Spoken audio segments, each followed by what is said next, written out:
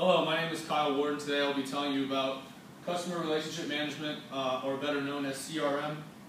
Uh, first, we're going to look at what CRM is. Um, CRM is a system for managing a company's interactions with current and future customers.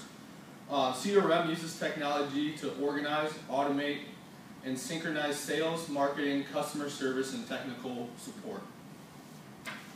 Um, the goals of CRM, uh, CRM, it strives to uh, manage every aspect of the organization, of the organization's customer relationships. Um, it develops strategic plans to increase um, an organization's customer loyalty, customer retention, and their profitability. Um, how CRM works, um, customer information, so any customer information, any um, interactions between a customer and, and an organization, and any documents such as sales and receipts are put into a single CRM database. Um, after it's put in the database, uh, the information is analyzed and uh, it comes back with like a report.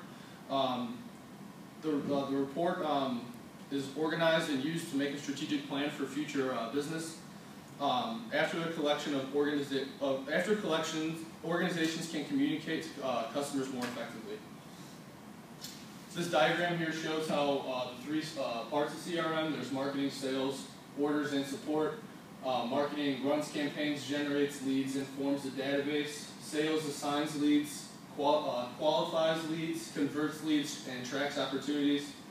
Orders delivers deliver products, produce invoices, and support manages cases, conducts training, provides service, and de de develops a knowledge base. Um, now we're going to talk about who uses CRM. Um, CRM, CRM is mainly used for uh, profit-based organizations. Um, they can be used, but they can't be used for nonprofit organizations. Uh, now I'm going to talk about how a nonprofit organization can use CRM. Uh, simplifying the management of their contracts and information related, related to donation, grants, and events and memberships. Uh, marketing campaigns, um, they can find a target market of their donors.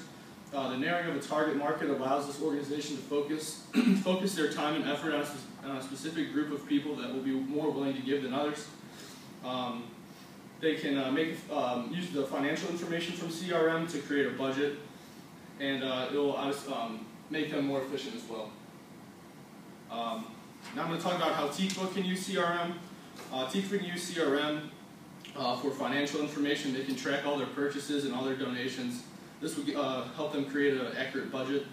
Um, they can also use it for marketing. They can help find their target market, um, get repeat donors, and uh, use, uh, use social media more effectively.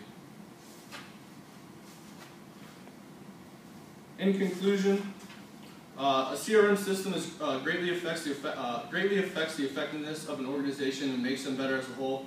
Even though CRM, uh, even though a CRM system is mainly designed for a profitable organization, a, a non-profit organization like Tikva can benefit from the few aspects of CRM.